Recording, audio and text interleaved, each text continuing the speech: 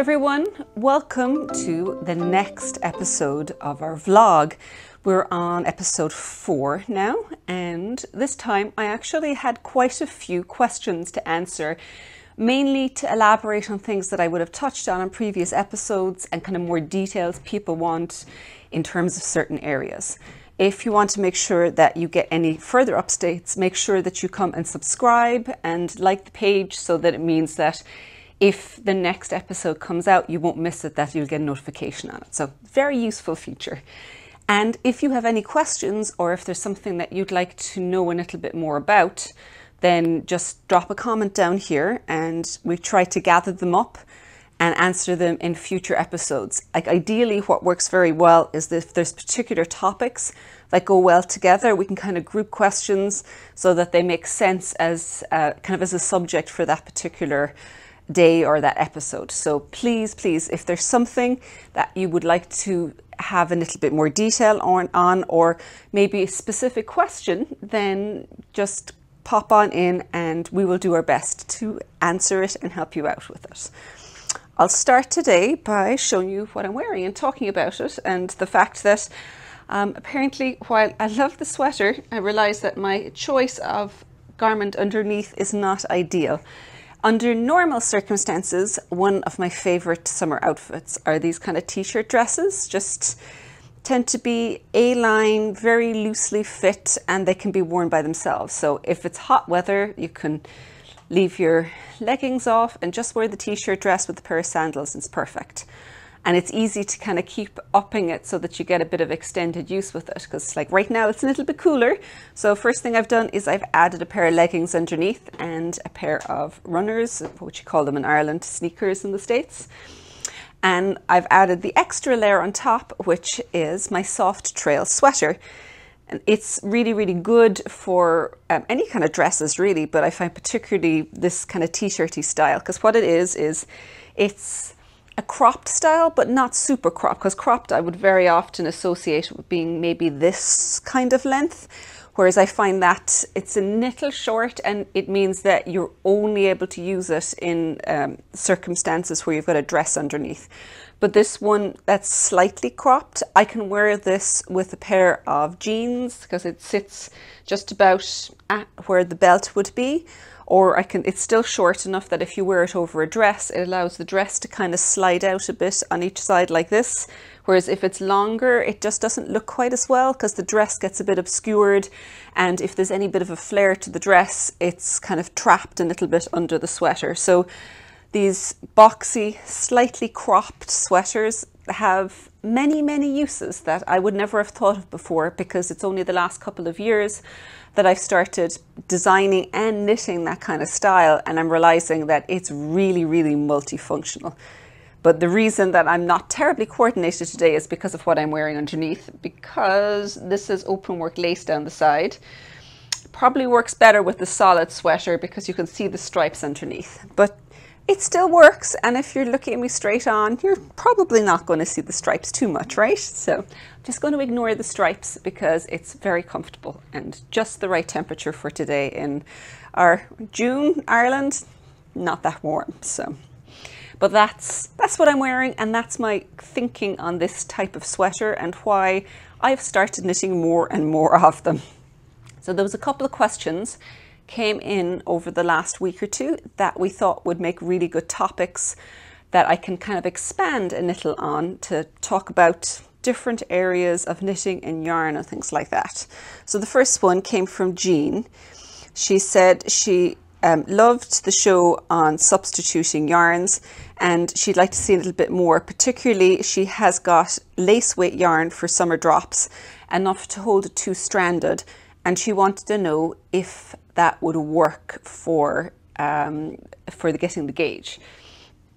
So I thought it would make a very, very good topic where I can talk about substituting yarns and also figuring out if you're holding yarns two together, what's the best way of deciding how that's going to work.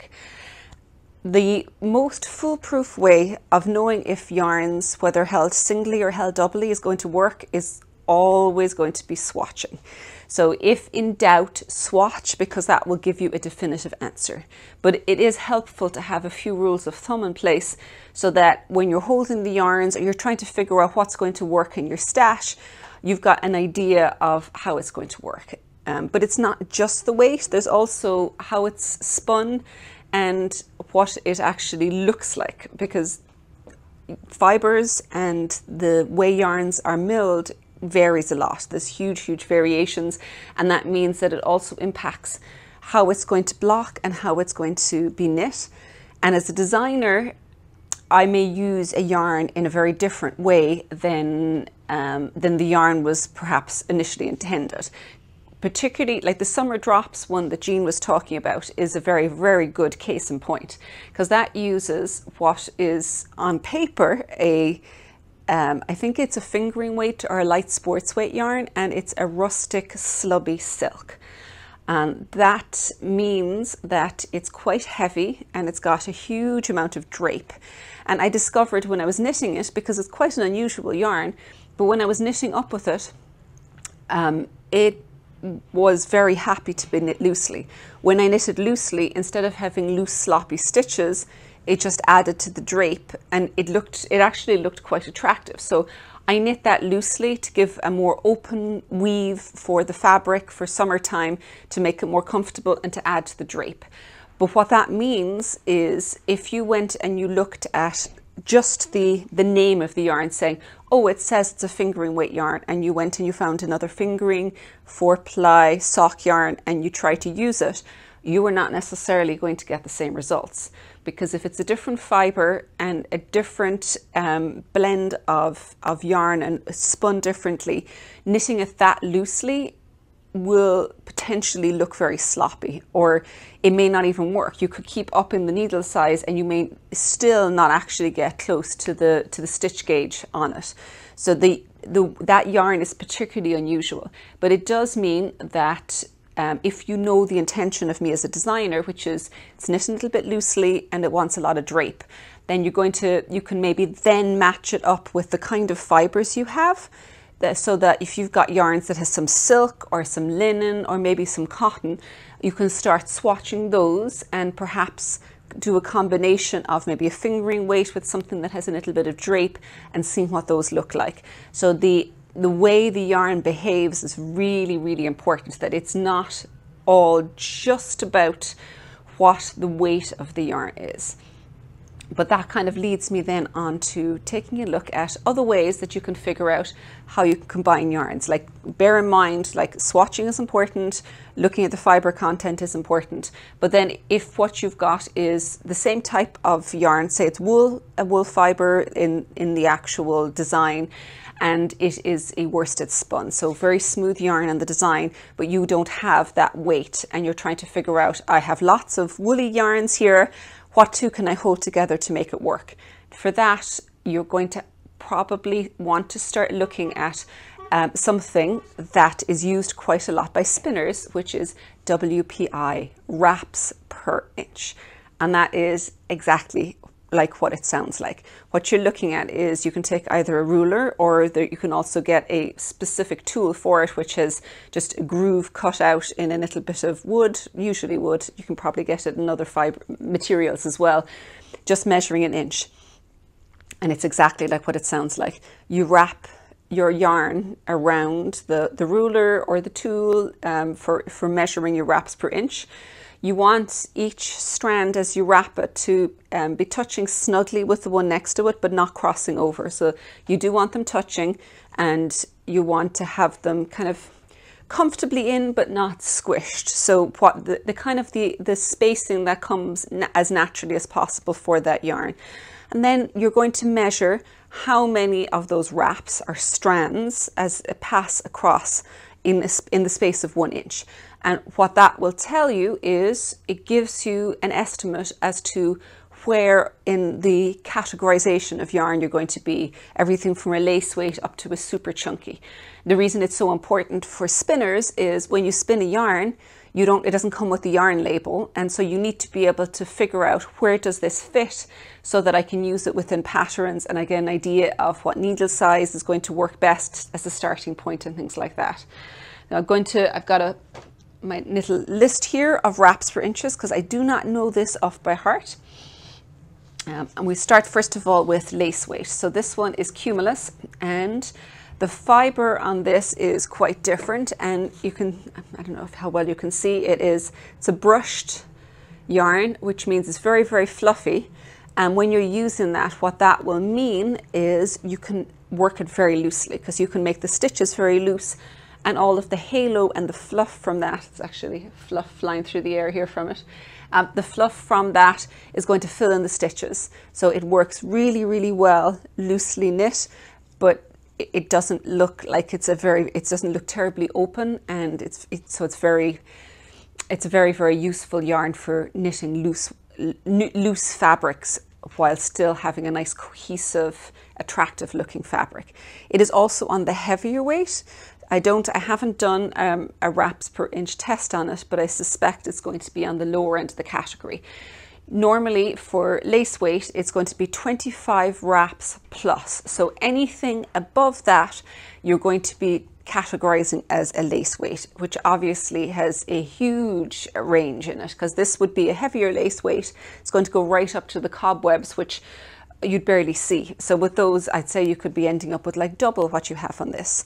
Uh, but that is what you're going to do. You wrap them around, you count each of those strands in your inch, and if you've got over 25 strands in that one inch, then it goes into the lace weight category.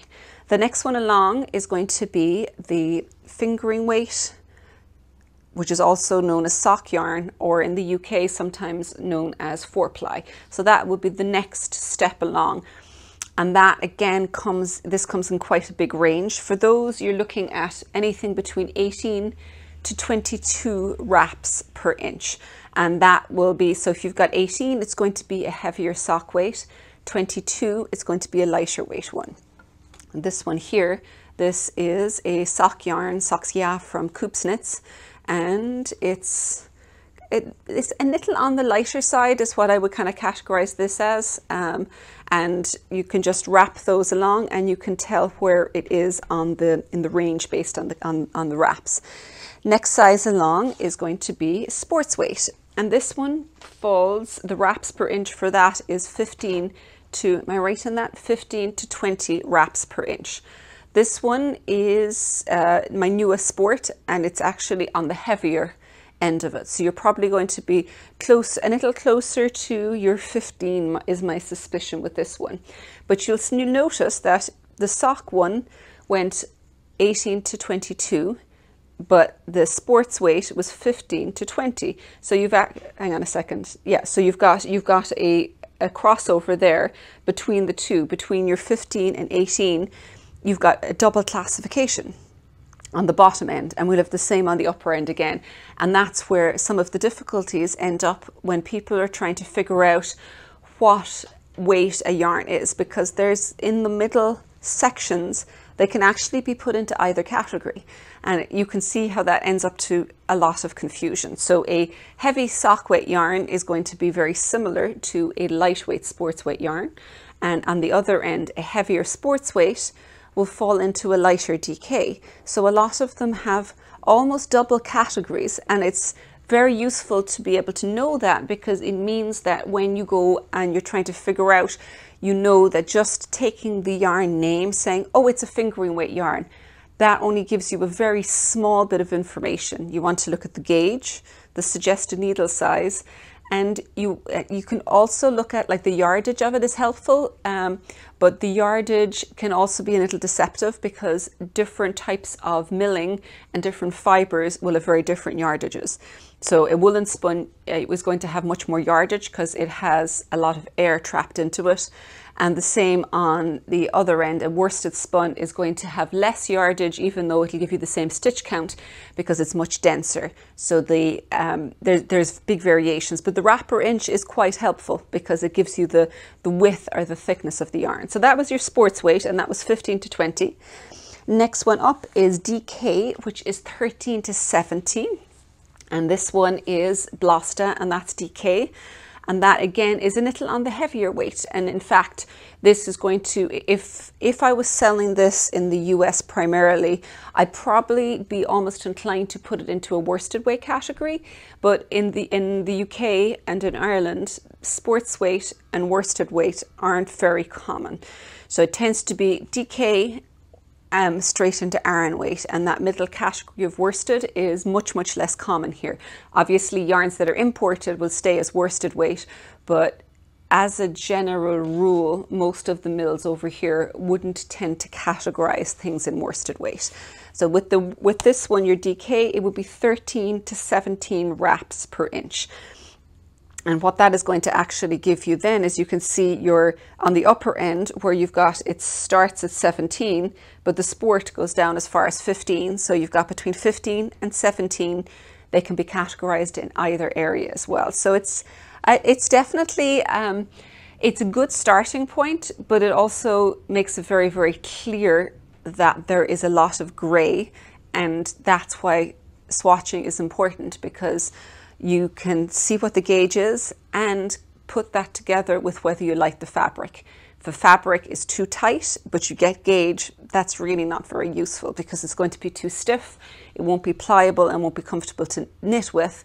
Or on the other end, if you get gauge, but it's really loose and floppy and holy and your stitches are uneven, that's equally well not very useful. So the quality of the fabric is as important as getting the gauge and don't let getting the gauge supersede um, what the fabric feels like. That they both have to be taken into consideration when you're figuring out substitutions. The last one here that I had was um, the worsted weight. Um, this is my worsted weight from Nua and that in wraps per inch is going to be 11 to 15 Again, with the DK, it came down to 13. So you've got 13 to 15 can either be DK or, which would be double knitting, um, or it can be worsted. So just like with the others, you've got those little overlaps in between where they can kind of go on either end. And you will get used to it as you're knitting yourself and you get used to handling more yarns and you've got more samples to test from and things like that you'll get a much clearer picture. When you pick things up and you feel it and you start knitting you'll know where and the in the family of yarn that it's put on it actually fits that you know that yes it is a worsted but it feels like it's on the heavier weight of worsted. So that, that definitely comes with practice and with swatching and with experience.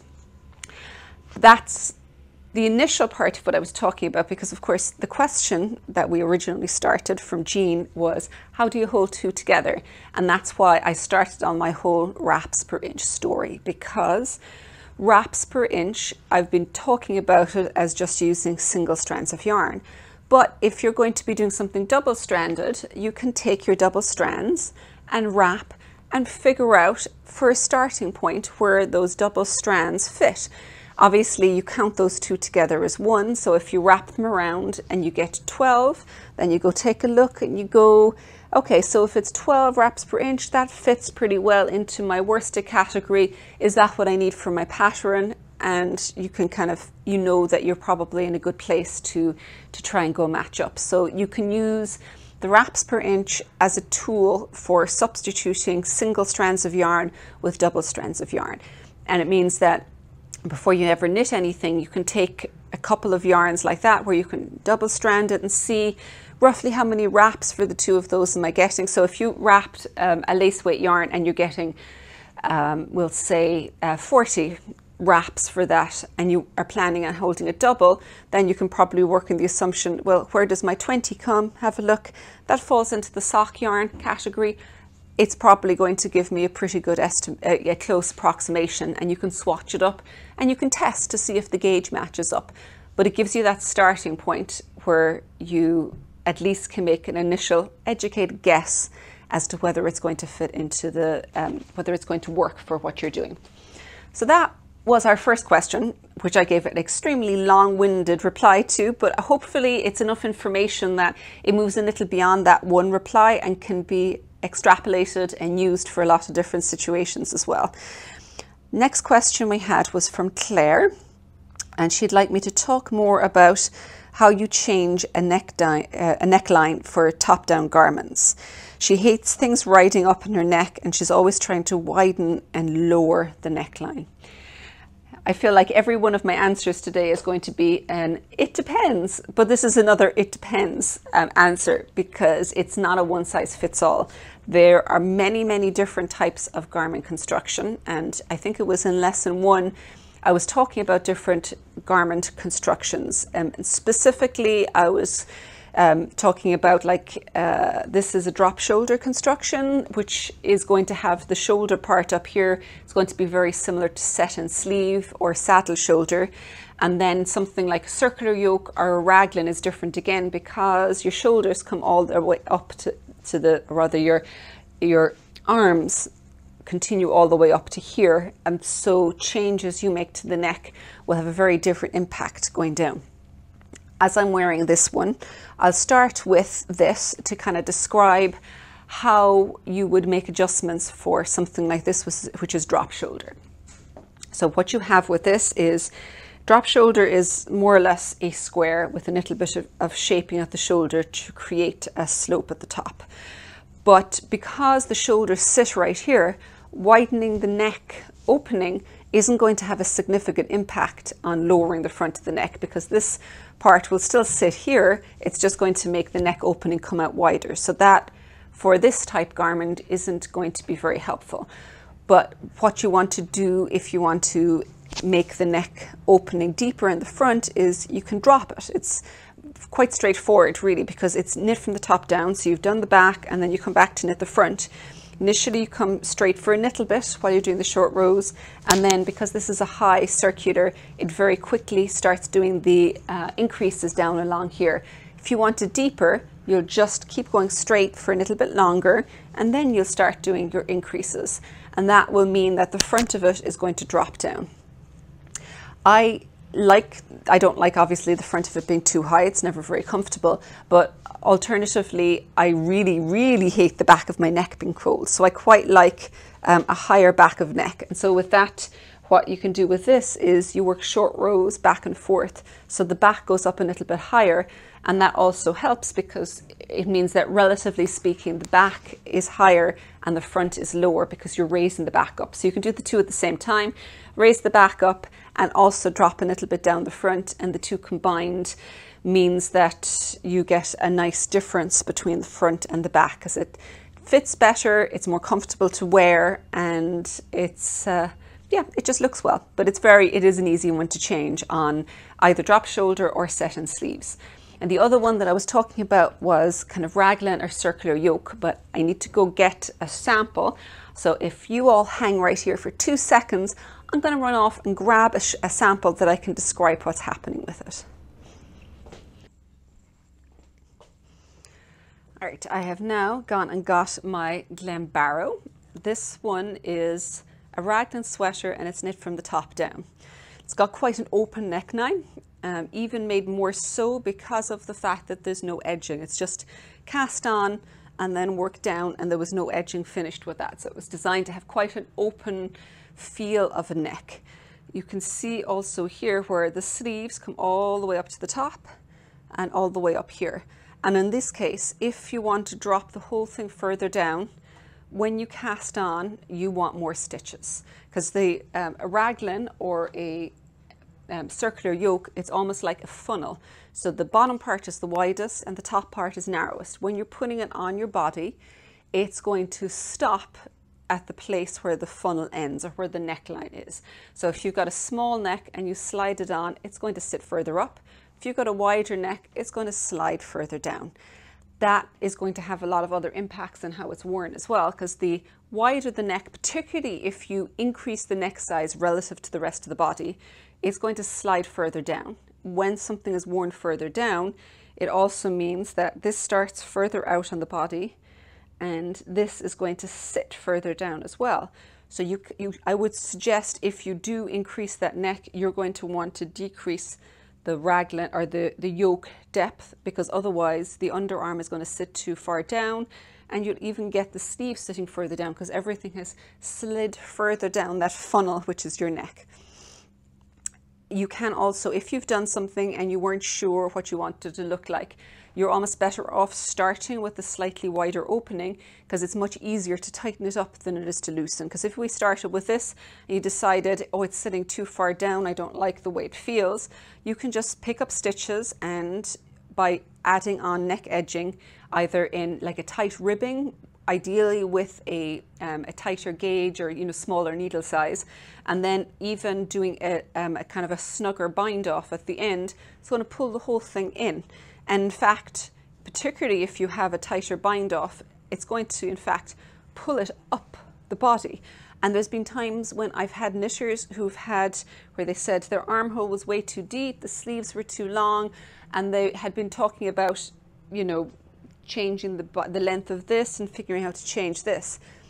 And if I got them to actually stand back and look at it and look at the, the, the sweater as, as a whole rather than just the parts that they were, they were noticing with it, it meant that it, they started seeing that it all came from the shoulder, from the neck, that the neck was too wide, which meant everything slid further down by either doing a very slight, you could do it very slightly where you do just a very snug crochet chain along here, which will pull it up and tighten it. I-cord edging is perfect if you want something that you don't want to change the look very much, but you want to snug it up. And I-cord edging along there works really well. They'll pull it all up. Snug up the neck means that it doesn't stretch out as much or slide down the body. And that meant that it pulled the armhole up, it pulled the sleeves up, and just changing the neckline meant that everything else got pulled up a little bit as well. In the case of Jean, oh sorry, Claire, beg your pardon, Claire, um, you want to do the opposite because you want it looser. So you want to start with more stitches. Just keep in mind that if you do that, you don't want, you will possibly need to decrease the yoke and decrease the sleeve length because everything else is going to slide a little bit further down. So with the raglan and circular yokes, neck neckline decisions will have knock-on implications. They're not quite the same thing, but you can also, as I was talking about with short rows, you can see as well here, back of this is a little bit higher than the front, and that is done in the same way, but you actually start in the short rows a bit further over. So it kind of starts quite far up here. I think it was, yeah, it was in the middle here before the stitch pattern started. And that meant that it kind of shaped this and left it a bit lower, but kept the back up a little bit higher. You can kind of see the difference in the two here. There's a couple of inches in height difference, and that's all done with short rows, but they come quite far up the front so that it makes a much more of a neck shaping rather than just the back coming up a little. So that's that's how you would go about changing something like this for um, raglan, and we described it on this. So it's pretty straightforward to change the necks. You just need to know how the construction is put together and make sure it doesn't have other implications further down the line in terms of the rest of the body shaping. Um, I hope you enjoyed all of our discussion about yarns and necklines today. If you have questions that you want me to answer or you'd like put into a future episode, it would be fantastic if you pop them up here. It's really helpful because it gives me a starting point and it means that I'm producing and talking about stuff that you want to hear about. So please do put up the comments. I love, love, love knowing what you what you'd like to know more about. So Come join me on our next episode, should be in two weeks' time. Um, and thanks for joining me today.